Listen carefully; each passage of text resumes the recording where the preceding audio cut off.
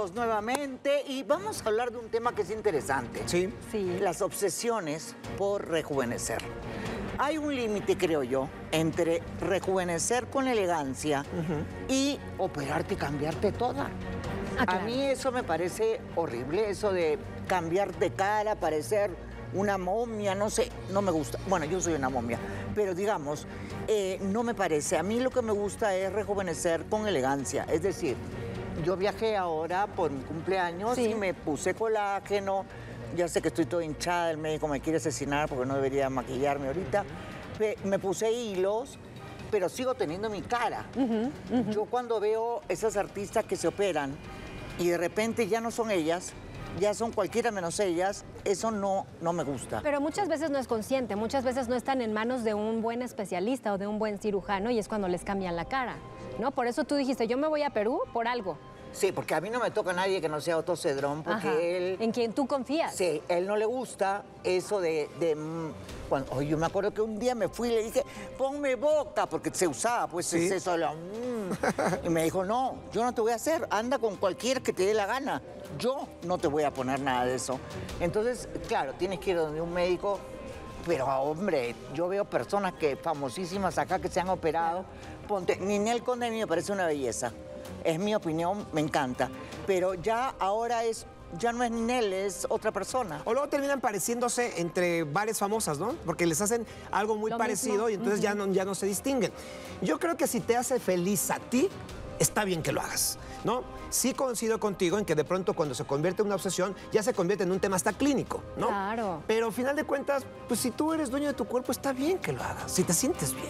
Claro, pero sin llegar a la obsesión. Porque ya cuando empiezas con la obsesión y la obsesión de parecer de 15 años, ya un- poco que entra a la ridiculez, no sé qué opinas tú. Pero a ver, yo quiero que tú me cuentes, ya te tenemos aquí. O sea, ¿qué, qué te hiciste en Perú? O sea, cuéntale a la gente, porque también tomar la decisión no es fácil, ¿no? No, yo básicamente lo que me hago son arreglos de rejuvenecimiento. O sea, ¿Cómo qué? ¿Qué por te ejemplo, eh, acá, que todavía estoy hinchada, me hacen un triángulo y me ponen colágeno para fortalecer el músculo y rejuvenecer el músculo. Ajá. Luego me ponen hilos que Ajá. tensan la piel, Sí. te la jalan. Luego me puse toda la boca, me hice la boca. ¡Qué dolor! ¡Qué dolor! Fui a padecer en mi cumpleaños, no, no fui a divertirme, fui a sufrir. Gracias a Dios me acompañó mi hija Alejandra, porque si no, no sé qué hubiera hecho. Me hice la boca porque ya se te hunde la boca, entonces se te ve más vieja. Entonces la, la boca también me la hice y básicamente ese tipo de cosas. Ya la segunda vez que vaya, me hago una jalada, Ajá. pero mínima. No me cambio la cara. ¿Tú qué te harías? Fíjate que yo tengo miedo, por eso te pregunto. A mí me da como mucho miedo a hacerme algo y que me cambie el rostro, pero yo te veo muy bien a ti. Claro, pero yo estoy igualita. O sea, si tú me ves, yo, yo soy Laura. O sea, no, no, no he dejado de ser Laura. No, E- eso de dejar de ser tú para ser otra persona no me gusta. Me parece que no, no tiene mucho sentido. ¿Te duele, Laura? ¿Es, Sí. es dolor, ¿Son dolorosos los procedimientos? Sí, son dolorosos, te duele. eh, yo ahorita estoy que me duele, pero nada, yo sigo adelante. Lo que quiero eh, transmitir el mensaje a, la- a las mujeres, que se puede Claro. mejorar sin llegar a extremos, ¿me entiendes? De operaciones que les cambien totalmente el rostro. Entonces tú ya ves a una persona, Limey, en fin, hay muchas que, que me encantan, son regias, pero ya no son ellas.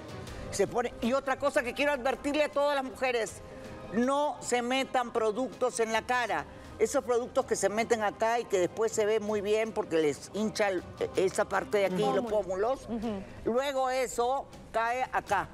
Y cuando cae acá, no se ven ancianas, se ve en la cara, pero de. O sea, toda gorda, horrible, no. O sea, tú nunca te has colocado Botox, por ejemplo. Botox sí. Botox sí. Botox sí me coloco, pero no cuando te meten acá y acá, porque se hincha así, se ve lindo. Y luego plum, cae para acá. Y a la hora que cae se te ve horrorosa. Eso es básicamente, pero el Botox sí, porque el Botox acá, por ejemplo. Ah, el viernes vamos a tener imágenes. El viernes, Maru, vamos a tener imágenes de, de este procedimiento que es innovador, que está usándose mucho en Brasil. Es el nuevo procedimiento de- que hace Otto Cedrón y lo vamos a mostrar para que ustedes lo vean. Me encanta, me Yo encanta. creo que es importante que Sí. todo el mundo pueda verlo y saber que puede rejuvenecer sin parecer una ridícula de otra persona. Pero saber con quién lo haces, ¿no? Y en manos de quién te pones. Cierto. Es muy Porque hay importante. víctimas de la belleza y ese es un tema para la próxima semana.